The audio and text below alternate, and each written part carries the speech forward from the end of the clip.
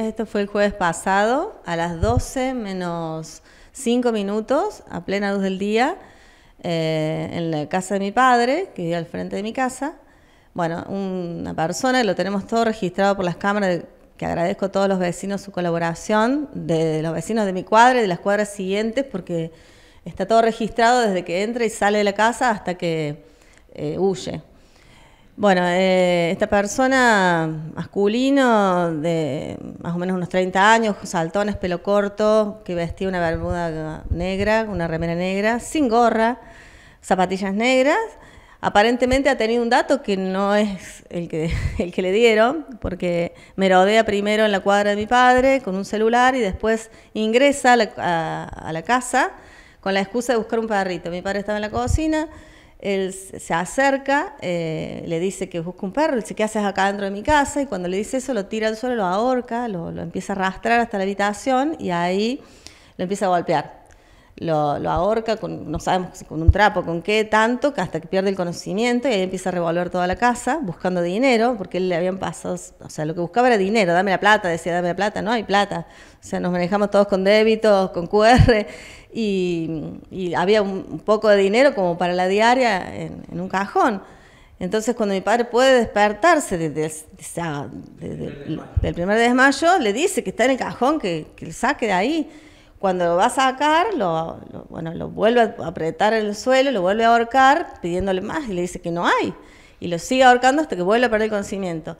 Todo esto duró exactamente seis minutos, porque está registrado el ingreso y el egreso de la casa. Seis minutos, nada más. En seis minutos lo pudo haber matado.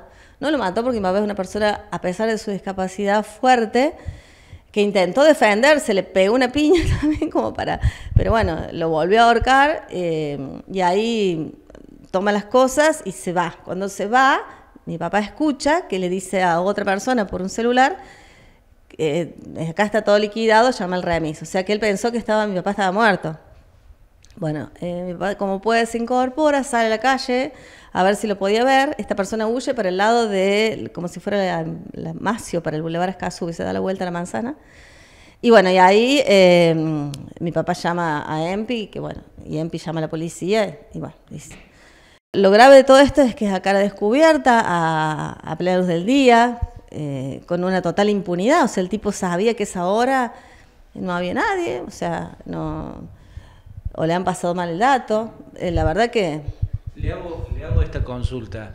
A pesar de que el individuo está grabado por las cámaras y ya se ha aportado a la policía y seguramente a la justicia, todavía este sujeto no ha sido detenido. Aparentemente no. A nosotros la fiscalía todavía no nos llamó. Fuimos dos veces, nos dijeron que bueno, que sí, que ya lo vamos a llamar a tu papá cuando llame menos gente para que no esté nervioso, pero esto fue hace seis días, cinco días y aún no nos, convocaron. Eh, tampoco tenemos seguridad ciudadana que pagamos con nuestros impuestos, que pasen por ahí, nunca pasan. La policía vino al toque, pero nosotros, la policía por nuestro barrio no pasa.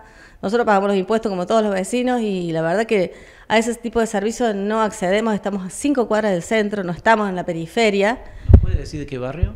Eh, bueno, es, eh, creo que es eh, Ascasubi, la pirámide, no sé cómo es. Bueno, estamos a cinco cuadras del centro, exactamente. Y eso es lo que más bronca nos da, porque la verdad que hay mucha gente grande, sola, y, y, la gente esta se mueve con una impunidad absoluta. En el caso de su padre, además de la asfixia que le ocasionaron, ¿también lo golpearon?